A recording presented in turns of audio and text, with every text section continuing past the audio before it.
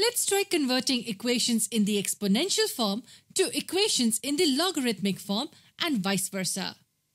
What is 7 to the power 3 equal to? It's 343. And what about 2 to the power 6? It will equal 64. These two equations are in the exponential form. Now I want you to try writing them in the logarithmic form.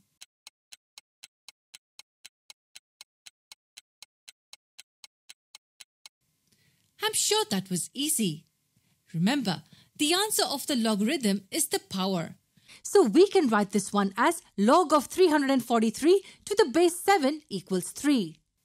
If you just look at the left hand side, it asks 7 raised to what will give us 343? And the answer is 3. And similarly, this can be written as log of 64 to the base 2 is equal to 6. So converting from exponential form to the logarithmic form was easy. How about I give you a couple of equations in the logarithmic form?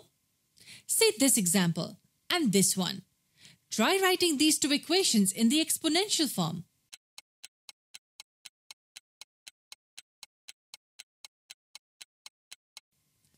Okay, so 6 raised to what will give us 216?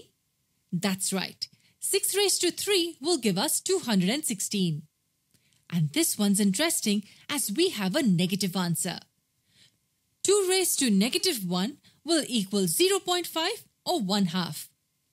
So by now, you should be pretty confident about both forms, exponential as well as logarithmic.